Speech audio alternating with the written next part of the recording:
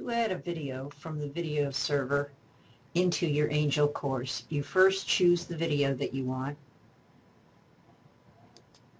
Make sure that you're in the tab Manage Videos.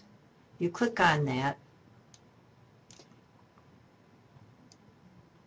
Go over to the right and choose the size screen that you want. In this case, I'm going to use 640 by 480.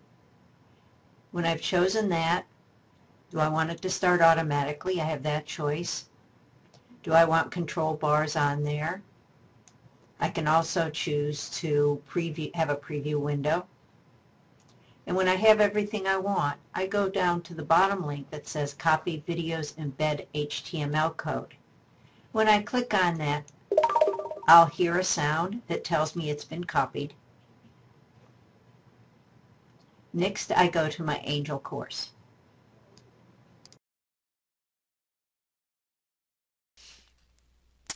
Go to where you want to add the video and then click on Add Content. And in this case, we want to choose a page.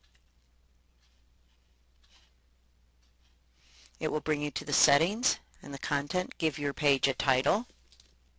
Scroll down to the page text area with the HTML editor. You click on the source button and then paste your code in there. And if you click the source button again, you're going to see nothing because it won't show because it's all in HTML. Once you're done, go down to the bottom and click on Save. And this is the page I just made. And when I click on it, you'll see a player here. And if you click on it, it will play.